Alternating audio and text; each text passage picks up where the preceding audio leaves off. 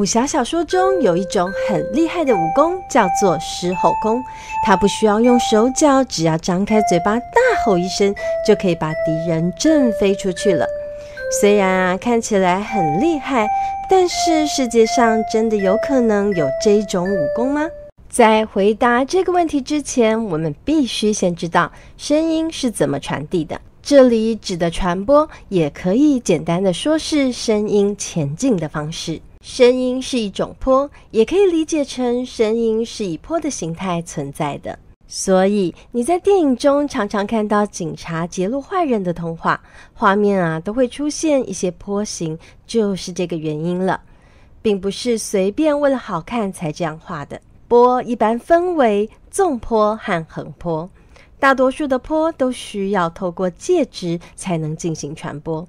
也就是说，除了电磁波和重力波之外，在真空中波是无法前进的。你晃动绳子所产生的波就是典型的横波。如果啊你在绳子的任意地方画一个记号，仔细观察就会发现。绳子上的点其实啊都是上下活动，并没有往前跑哦。声波属于纵波，又称为疏密波，它是利用推动介质往前后移动的方式来传播的，和横波上下移动不同。因为挥动绳子所产生的波是横波，所以啊被绳子上下打到是会痛的哦。而声波和绳子不同，它是属于纵波，力量是往前后移动的。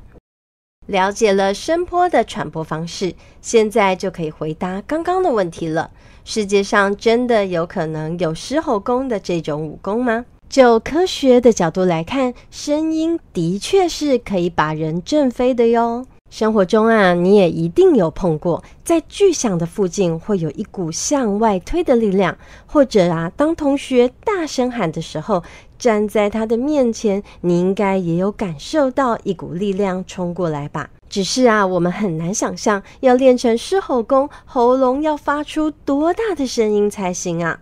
而我们自己会不会也被这种吼叫声给震飞了呢？我们前面说过，声音需要依靠介质才能传播。由此可见，介质越多，声音应该就可以传播的越好。诶，所以啊，我们用来传播声音的介质——空气，应该啊就是最差的介质喽。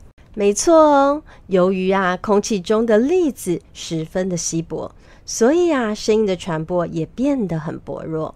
午休的时候，趴在桌上，你一定也会发现许多声音都变大了。这是因为啊，桌子含的粒子比较紧密、比较多，可以供声音传播的介质就更多了，声音也就越清晰喽。因此，我们知道，一般在固体的声音传播是最快、最清晰的，在水中也是可以听到声音的哦。反而啊，是在日常生活中利用空气传播声音的效果是最不好的。声音啊，必须透过介质一点推动一点的传播出去。但是你有没有想过，为什么我们和别人聊天的时候，对方话才说出口，你的耳朵就已经听到了呢？这是因为声音的传播速度非常的快。如果啊让他去跑步的话，学校操场的跑道跑两圈只需要一秒多一点的时间呢。所以啊，就算你躲在楼上，妈妈也一样可以及时的把你叫下来吃饭。最后，我们还要告诉你一件很酷的事情：你有没有听过超音速飞机呢？许多战机啊，因为要避开飞弹，所以飞行的速度都比声音还要快哦。也就是说啊，这种飞机去你学校跑操场的话，两圈连一秒都不需要呢。但是啊，也因为速度比声音还要快，所以飞行员是处在超级安静的环境中。一点声音都听不到的哦。